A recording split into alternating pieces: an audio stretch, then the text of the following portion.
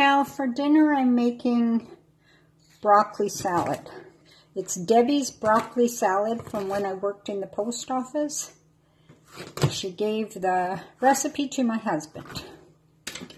So this is the one we always used. So I chopped up one broccoli crown. If they had, uh, this was ordered, so if they had sent the whole broccoli with the stalk, you can make broccoli slaw. So I've got broccoli cut up and about a quarter of a red onion finely chopped. So that's going to go in a bowl. So there's the broccoli and onion. To that, I'm going to add uh, maybe about a quarter of a cup, half a cup, depending what you like, of sunflower seeds. And I'm going to make the dressing. So this is about a third of a container.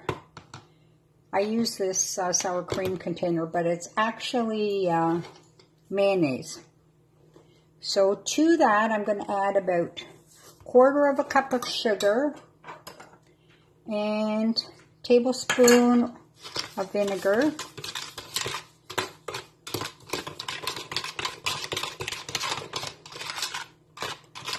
So that's ready to go on the salad. And I'm going to add some raisins because I'm using Debbie's broccoli salad, so she always had raisins in hers. And bacon. So I had cooked bacon earlier for the potato casserole. So I'm just going to crumble up the bacon here.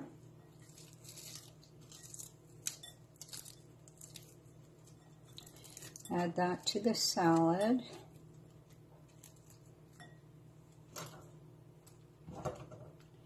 And then I'm going to put in the dressing.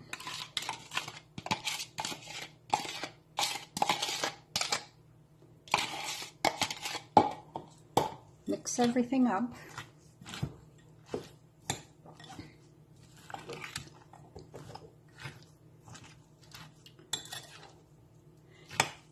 Closer to serving time, I may shred up some cheese. Debbie's broccoli salad didn't call for cheese, but I may shred up some cheese. I may not because I have cheese in the potatoes. So too much cheese. And that's the salad. Cool it. And I'm serving it with my barbecue tonight. Hope you enjoy it.